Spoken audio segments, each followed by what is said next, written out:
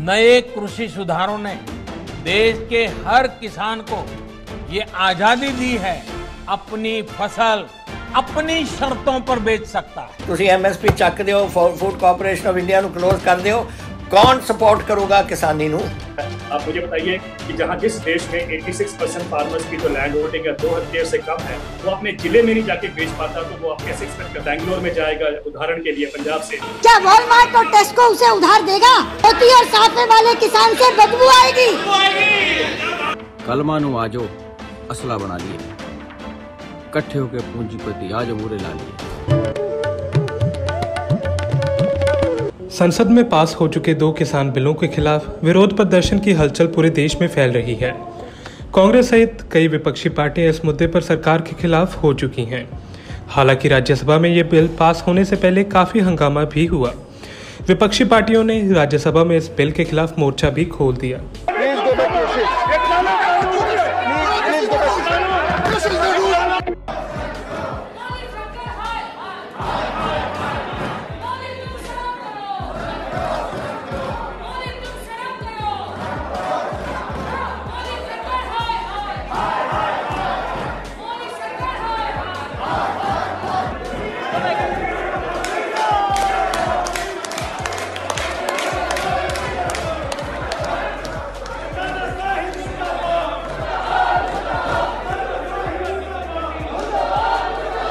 इस शोर के बीच ये बिल लेकिन राज्यसभा में भी पास हो गया। राज्यसभा में हुए हंगामे का मामला अगले दिन सदन में उठा।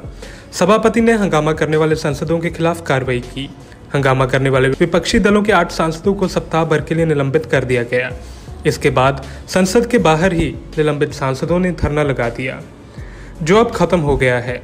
बताया जा रहा है कि सांसदों ने विपक्ष के राज्यसभा से वॉकआउट करने के बाद ऐसा किया। धरने पर बैठे सांसदों के मुताबिक एक स्वर से विपक्ष ने अपनी बात कही है। लगभग सभी विपक्षी दलों ने वॉकआउट किया, इसी कारण धरना समापित किया गया है। पूरे देश में किसान इस बिल का विरोध कर रहे हैं। सरकार द्वारा ये दलील दी जा रही है कि इस बिल से किसानों को फ़ायदा होगा। प्रधानमंत्री मोदी ने देश के किसानों का बढ़ता विरोध देखते हुए एक संबोधन भी किया और किसानों के फ़ायदे की ओर ज़ोर दिया। हमारे देश में अब तक उपज और बिक्री की जो व्यवस्था चली आ रही थी, जो कानून थे, उसने किसानों के हाथ पाँव बांधे हुए थे।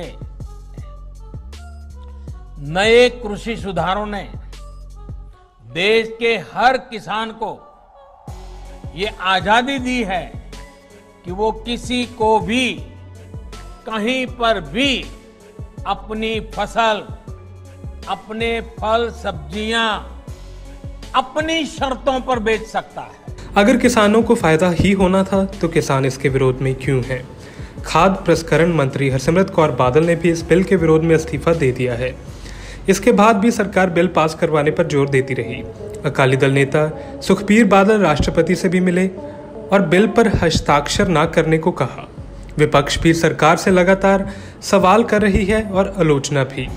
पंजाब के मुख्यमंत्री कैप्टन अमरिंदर सिंह जब से ये बिल संसद में पेश हुआ है, तब से विरोध कर रहे हैं। ਕਿ ਤੁਸੀਂ ਉਹਨੇ ਬਿੱਲ ਪਾਸ ਕਰ ਦਿਓ ਤੁਸੀਂ ਇੱਥੇ ਕਾਨੂੰਨ ਚੇਂਜ ਕਰ ਦਿਓ ਤੁਸੀਂ ਐਮਐਸਪੀ ਚੱਕ ਦਿਓ ਫੂਡ ਕਾਰਪੋਰੇਸ਼ਨ ਆਫ ਇੰਡੀਆ ਨੂੰ ক্লোਜ਼ ਕਰ ਦਿਓ ਕੌਣ ਸਪੋਰਟ ਕਰੂਗਾ ਕਿਸਾਨੀ ਨੂੰ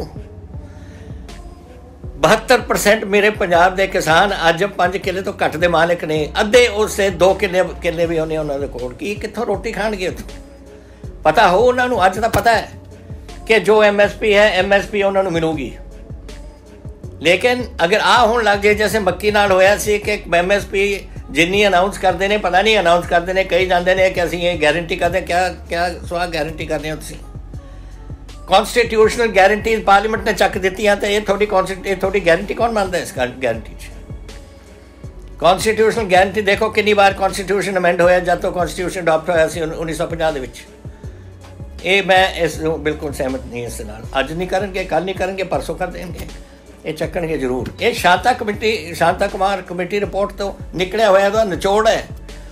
ਐਫਸੀਆਈ ਨੂੰ ਬੰਦ ਕਰ ਦਿਓ। ਐਮਐਸਪੀ ਬੰਦ ਕਰ ਦਿਓ। ਬੜਾ ਉਹਦਾ ਨੁਕਸਾਨ ਹੁੰਦਾ ਦੇਸ਼ ਨੂੰ। ਕਿਹਦਾ ਨੁਕਸਾਨ ਹੁੰਦਾ ਹੈ? ਦੇਸ਼ ਨੂੰ ਹੁੰਦਾ ਹੈ ਜਾਂ ਮੇਰੇ ਪੰਜਾਬੀ ਕਿਸਾਨਾਂ ਨੂੰ ਹੁੰਦਾ ਹੈ? ਇਹ ਵਿਚਾਰੇ ਗਰੀਬ ਜਿਹੜੇ ਇੰਨੀ ਮਿਹਨਤ ਕਰਦੇ ਨੇ ਔਰ ਕਮਾਉਂਦੇ ਨੇ ਔਰ ਉਹਨਾਂ ਜ਼ਮੀਨ ਕਿੰਨੀ ਰਹਿ ਗਈ ਹੈ? ਥੋੜੀ ਜਿਹੀ ਜ਼ਮੀਨ ਰਹਿ ਗਈ, ਤੁਸੀਂ ਉਹ ਵੀ ਇਹਨਾਂ ਤੋਂ ਖੋਣਾ ਚਾਹੁੰਦੇ ਹੋ। मैं बिल्कुल इस से उल्टा है, सारा पंजाब उल्टा। आखिर ये बिल है क्या? पहले इसके बारे में जानते हैं। बीबीसी के मुताबिक इस बिल में एक ऐसा इकोसिस्टम बनाने का प्रावधान है, जहाँ किसानों और व्यापारियों को मंडी से बाहर फ़सल बेचने की आज़ादी होगी। प्रावधानों में राज्य के अंदर और दो राज्यों के बीच व्यापार को बढ़ावा देने की बात कही गई है। मार्केटिंग और ट्रांसपोर्टेशन पर खर्च कम करने की बात भी कही गई है। इस बिल के बारे में अधिक जानकारी रवीश कुमार ने अपने शो में दी। नए अध्यादेश के मुताबिक, जिसमें लिखा है कि किसान एक राज्य से दूसरे राज्य में और अपने ही राज्य में कहीं भी उपज बेच सकेंगे। अपने राज्य की मंडियों तक सीमित नहीं रहेंगे। इलेक्ट्रॉनिक ट्रेडिंग का सिस्टम भी होगा और ई ट्रेडिंग के प्लेटफॉर्म को पारदर्शी बनाया जाएगा। कोई भी व्यक्ति या व्यापारी जिसके पास पैन नंबर है, कारोबार कर सकेगा ई प्लेटफॉर्म किसान और व्यापारी पर अब कोई भी शुल्क नहीं लगेगा। नियम और शर्तें पारदर्शी होंगी और स्थानीय भाषा में प्रचारित की जाएँगी। किसानों को उसी दिन या तीन दिनों के भीतर पैसे का भुगतान करना होगा।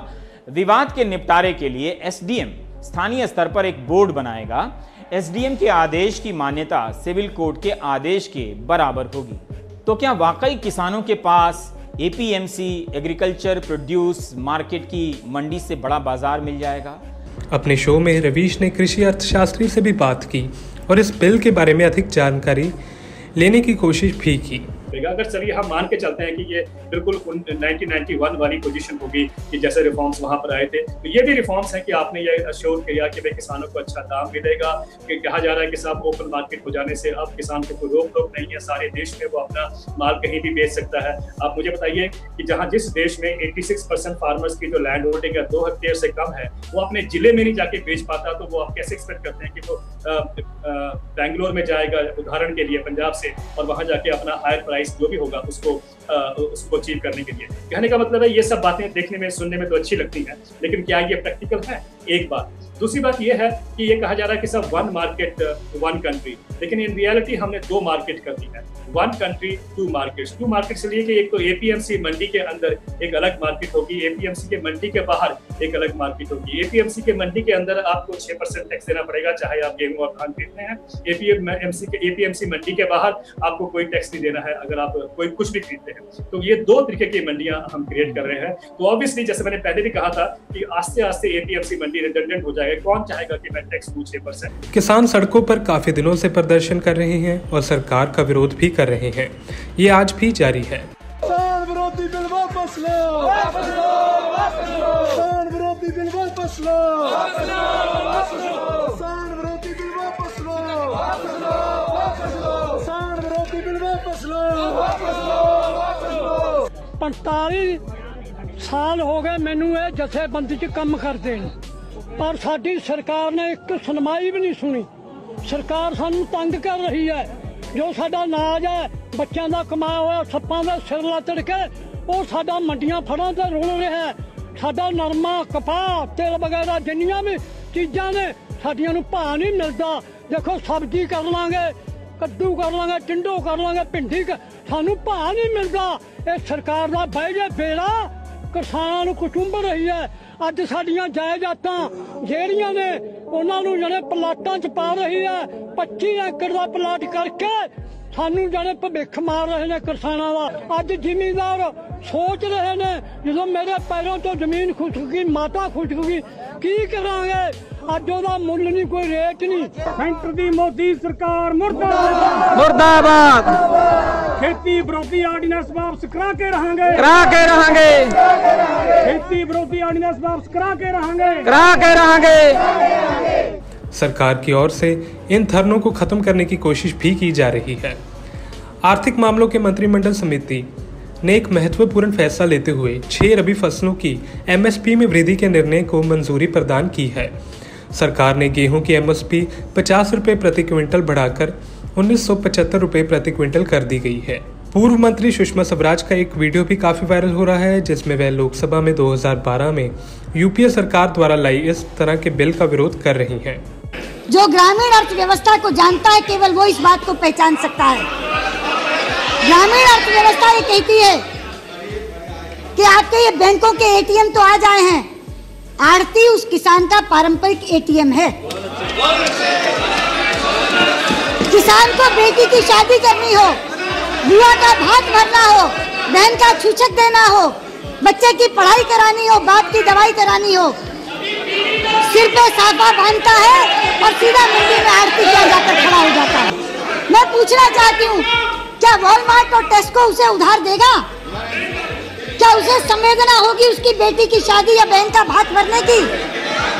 उसे तो धोती और साफे वाले किसान से बदबू आएगी। और कौन डायरेक्ट बात कर सकेगा? कोई किसान से सीधा खरीदेगा? अरे नई एजेंसियाँ खड़ी होंगी, वो नए बिचौलिए खड़े हो जाएँगे। वहीं अब सरकार के खिलाफ मोर्चा खोलने, पंजाब के सिंगर्स भी आ गए हैं। पंजाबी सिंगर दिलजीत दोसांझ किसानों के समर्थन में खड़े हैं, और इस पर उन्होंने एक ट्वीट भी किया और लिखा ਗੱਲ ਕਿਸੇ ਪੋਲੀਟੀਕਲ ਪਾਰਟੀ ਦੀ ਨਹੀਂ ਹੈ ਗੱਲ ਕਿਸਾਨ ਦੀ ਹੈ ਤੇ ਅਸੀਂ ਸਾਰੇ ਕਿਸਾਨਾਂ ਦੇ ਨਾਲ ਆ ਪੋਲਿਟਿਕਸ ਸਾਈਡ ਤੇ ਰੱਖ ਕੇ ਦੇਸ਼ के ਅੰਨਦਾਤਾ ਦੇ ਹੱਕ 'ਚ ਹਾਂ ਦਾ ਨਾਰਾ ਜ਼ਰੂਰ ਮਾਰੀਏ ਘਟੋ ਘਟ वहीं सिंगर बब्बू मान ने भी इस बिल का विरोध किया और किसानों के साथ प्रोटेस्ट में शामिल होने की बात भी कही। ਸਤਿ ਸ਼੍ਰੀ ਅਕਾਲ ਜੀ, ਮੈਂ ਬੱਬੂ। ਤੁਸੀਂ ਮੇਰਾ ਮਾਣ। ਕਲਮਾਂ ਨੂੰ ਆਜੋ ਅਸਲਾ ਬਣਾ ਲਈਏ। ਇਕੱਠੇ ਹੋ ਕੇ ਪੂੰਜੀਪਤੀ ਆਜੋ ਮੂਰੇ ਲਾ ਲਈਏ। 25 ਤਰੀਕ ਨੂੰ ਜਾਮ ਜੜਾਂਗੇ। ਜੇ ਗੱਲ ਨਾ ਬਣੀ ਤਾਂ ਲੰਬੀ ਲੜਾਈ ਲੜਾਂਗੇ।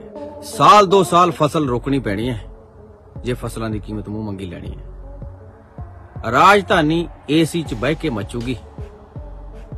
ਕਿਹੜੇ ਹੋ ਜੋ ਦਿੱਲੀ ਦਾ ਝਾਂਜਰ ਪਾ ਕੇ ਨੱਚੂਗੀ। ਆਓ ਤੂੰ ਤੂੰ ਮੈਂ ਮੈਂ ਚੋਂ ਨਿਕਲ ਕੇ ਤੂੰ ਹੀ ਤੂੰ ਕਰੀਏ ਦਿੱਲੀ ਕੋਲ ਬਹੁਤ ਦਿਮਾਗ ਹੈ ਦਿਮਾਗ ਨਾਲ ਮਾਰਨਾ ਪੈਣਾ ਹੈ ਹੋ ਜਾਓ ਇਕੱਠੇ किसान मजदूर एकता जिंदाबाद जिंदाबाद जहां एक तरफ कई पंजाबी सिंगर विरोध कर रहे हैं वहीं दूसरी तरफ सिंगर दलेर मेहंदी ने इस बिल का समर्थन किया है और किसानों के लिए अच्छा बताया है आज बहुत बड़ा दिन है किसान भाइयों हम सब के लिए क्यों मैं हम सब इसलिए कह रहा हूँ कि मैं खुद भी किसान हूँ ये मेरे खेत की सरसों है ये मेरे खेत की गेहूँ है, कणक है। मैं खुद किसान हूँ, पिछले 20 साल से अपने खेतों में चीज़ें उगा रहा हूँ और इस बार गाजर, मूली, शकरकंदी भी मैंने लगा रखी है। मेरी ये आप सबसे बहुत बहुत गुजारिश है कि जो मोदी जी ने एग्रीकल्चर बिल पास किया है, उन पे भरोसा करें और लोगों की बातों पे, अफवाहों पे बिल्कुल मत जाएँ और ताकि हम लोग अपनी मर्ज़ी से, अब कोई भी बिचौलिया नहीं है, अपने देश का, अपने देश की उन्नति के लिए काम करें। सरकार हर तरह से किसानों को शांत करने की कोशिश में जुटी है। अब ये देखना होगा कि सरकार का अगला कदम क्या होता है। Bureau report, Punjab today TV.